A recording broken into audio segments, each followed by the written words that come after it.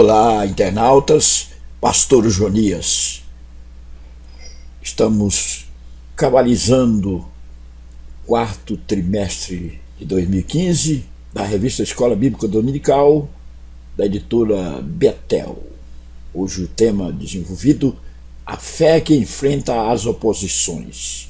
É o bravo copeiro mor do rei Atarxerxes, Neemias, enfrentando fortes oposições de Sambalate, Tobias, Gesem. Vamos trabalhar essa lição no nosso blog da Escola Bíblica Dominical. Vem comigo. Esse blog está a serviço da Escola Bíblica Dominical. editora CPAD, Betel, Central Gospel. As lições estão postadas com antecedência e temos também os vídeos comentados. Vamos abrir aqui. Essa lição, A Fé que Enfrenta as Oposições, está direcionada para o dia 27 de dezembro de 2015, finalizando o ano. O texto principal, o texto áureo. Portanto, nós também, pois que estamos rodeados de uma tão grande nuvem de testemunhas, deixemos todo o embaraço e o pecado que tão de perto nos rodeia e corramos com paciência a carreira que nos está proposta. Hebreus 12 e 1. A verdade aplicada, não existe problemas insolúveis quando as pessoas comprometidas se levantam na força de Deus para agir. Os textos de referência, Neemias 1, de 1 a 3. Jerusalém se encontrava em ruínas.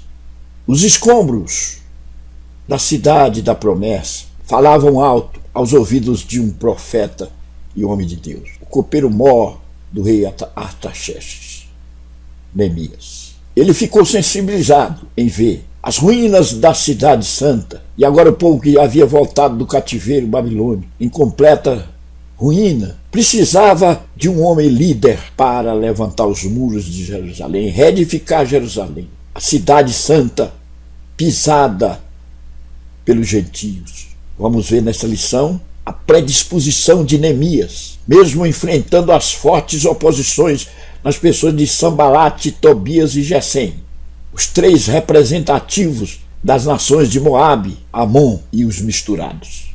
Ele exercitou a sua fé para reedificar os muros que há mais de 100 anos não se conseguia reedificar. Ele fez em 52 dias. A lição quer nos remeter à conclusão de que a obra de Deus precisa de homens predispostos com fé viva e com ação prática. Vamos ver nessa lição como a cidade foi reedificada, como Deus usou Neemias e de copeiro modo o rei Atarxerxes, ele passou a ser o grande líder na terra desolada. É assim Deus precisa de homens para restabelecer situações, para suerguer muros e para projetar a sua obra. Neemias, um homem de fé. Neemias, o copeiro do rei.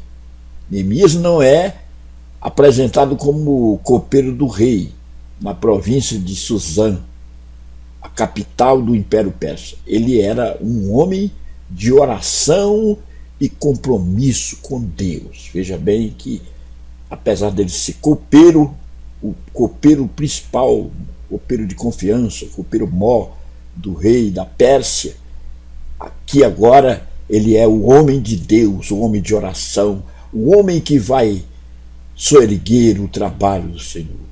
Neemias era um conselheiro pessoal do imperador e exercia, ao mesmo tempo, as funções de primeiro-ministro e mestre de cerimônia. Está registrado em Neemias 2 e 1 e também 5 e 14. Era uma praxe se ter um homem de confiança no palácio que experimentasse a comida, porque os reis estavam sempre expostos a perigos e poderiam ser envenenados.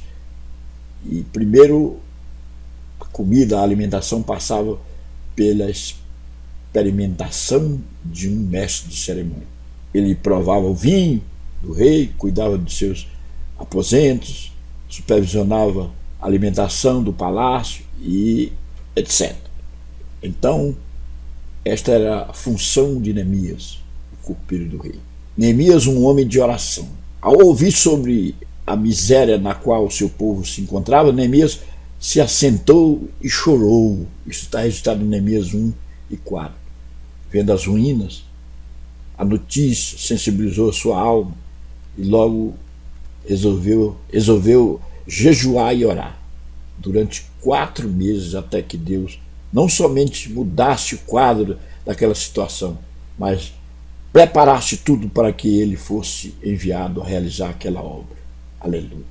No seu coração estava a chama de restabelecer a cidade. As lágrimas copiosas que desciam dos seus olhos era uma forma de se ver a grande preocupação de Neemias com a obra de Deus. Neemias, um homem que se importava com seu povo, ele era preocupado com o povo de Judá.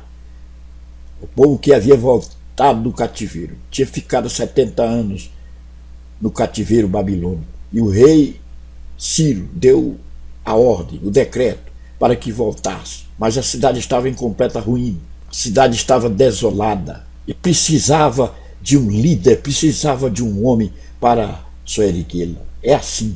Quantos lugares existem que a obra de Deus está carente? Está precisando de um representante de Deus que arregasse a manga e vá à luta e que levante a obra. Quantos lugares precisando de obreiros, precisando de homens de Deus, precisando de Neemias. O mundo está carente de Neemias. O mundo está carente de pessoas com fé viva para levantar a obra, para pregar, para fazer aquilo que Deus está querendo que seja feito. O projeto no nome de Deus na terra, fazer missão, fazer algo para Deus, arrebatar das garras do inimigo as almas que estão perdidas, enfrentando as oposições. Os desafios que Neemias enfrentaria não eram poucos, porque além de motivar o povo a reiniciar uma obra que há 100 anos estava parada, ainda deveria enfrentar os desmotivadores que unidos tramavam para impedir o sucesso da obra. É assim Sempre a obra de Deus teve obstacularização. Sempre se levantaram pessoas contrárias.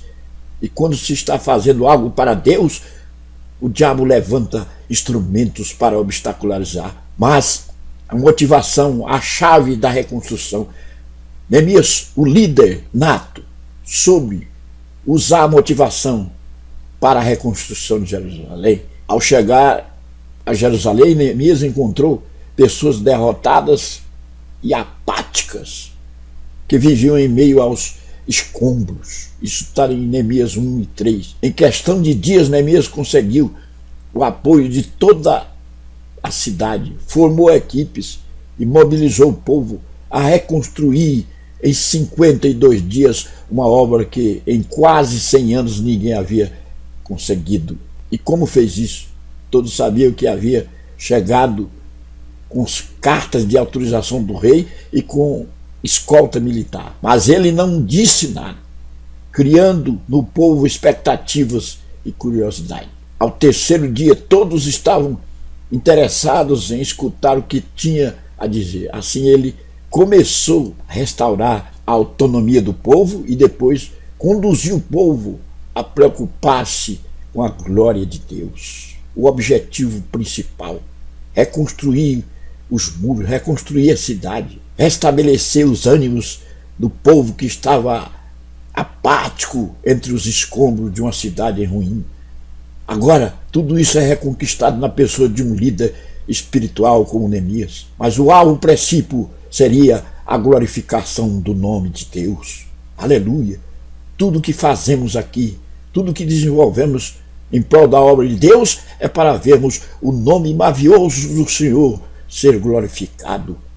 Não é para nossa honra própria. Neemias não tinha como fito se autopromover, mas ele queria ver a cidade reedificada, ele queria ver os muros reedificados, ele queria ver a cidade santa, a Jerusalém dos judeus ser restabelecida. A atitude de quem tem visão de Deus. Nós vamos encontrar aqui Inimigos rivalizantes, Sambalate, conhecido, Tobias, Gesem, Sambalate representante de Moab, Tobias representante de Amon e Gesem que eram uma mistura. Eles eram representantes de nações que estavam por ali, por exemplo, Sambalat, Moab era oriundo de Ló, quando ocorreu o incesto de Ló com sua filha mais velha, e Amon com a filha mais nova. Então eles eram inimigos. E Gesem, que era uma forma de mistura. Esses três líderes da região, representantes destes povos, foram elementos rivalizadores da obra de Deus. Neemias encontrou fortes obstacularizações, a arma usada por ele, calúnia, zombaria e desprezo. As três armas que eles usaram para tentar derrotar Neemias. A confiança em Deus. Sem dúvida, a nossa natureza humana sente um desejo natural de responder com agressão aos ataques inimigos que julgam, intimidam, denigrem e prejudicam a realização dos nossos projetos. Porém, sabemos que esta não é a atitude correta. Então, o que podemos fazer? Como devemos nos portar diante de tais circunstâncias? Em vez de deixar enredar em uma competição de insultos, Neemias foi buscar o apoio em Deus. Quando estamos fazendo a obra do Senhor, que as obstacularizações vêm, que os inimigos se levantam, não podemos confrontar com eles, mas vamos em busca daquele que tem poder para fazer coisas grandiosas. Neemias soube buscar o Senhor. Ele buscou em Deus o apoio, o supremo mandatário do universo. E aí ele teve a força para desenvolver o projeto. Quando aqueles inimigos se levantam e querem nos confrontar, saibamos que nós temos alguém mais poderoso e os que estão conosco são mais numerosos e poderosos do, do que os que estão se rivalizando conosco. Foi o que Neemias aprendeu e desenvolveu. A última parte, a poderosa mão de Deus em ação. Quando Deus estende a mão, a coisa vai. Quando Deus estende a mão, há prosperidade. Quando Deus estende a mão, há derramamento de poder. Quando Deus estende a mão, o inimigo bate em retirada. Quando Deus estende a mão, as forças rivalizadoras são fragilizadas. Quando Deus estende a mão, a coisa vai andando, aleluia. Era o que estava acontecendo. Deus estendeu a sua mão poderosa sobre um povo fragilizado, uma ex-massa de escravos vindo da Babilônia, sem muita confiança, mas agora tudo estava dando certo. Na liderança de Neemias, o homem que Deus levantou para reedificar Jerusalém. Quando Deus nos governa, tudo dá certo. Neemias confortou o povo com o anúncio de que Deus o havia enviado e prosperado seu caminho. Ele confirmou com o seu testemunho e com a ajuda que o rei lhe concedeu. Aleluia.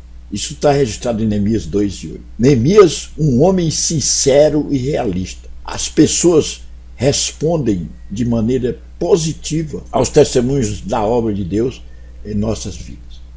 Então, Neemias falou da bênção de Deus, da visão e da confirmação por meio das circunstâncias. O povo creu, sua fé foi desafiada pelo que havia ouvido. E a partir desse momento, o sonho passou a pertencer a todo o povo. Eles podiam ver o Espírito de Deus na vida de Neemias, estavam prontos a segui-lo. Quando o povo vê na vida do líder a presença de Deus, a confiança e Deus desperta o apetite e predisponibiliza o povo a arregaçar a manga e enfrentar a obra também. É assim, quando a unção, quando o poder está sobre o líder, então a coisa é desenvolvida. Bendito seja o nome do Senhor. No último ponto, Neemias, um homem disposto. Ele estava disposto a enfrentar quando se necessitou de um líder, ele disse: Eis-me aqui, envia-me a mim. Isaías 6 e 8. Ele não era construtor, mas abandonou tudo e foi construir.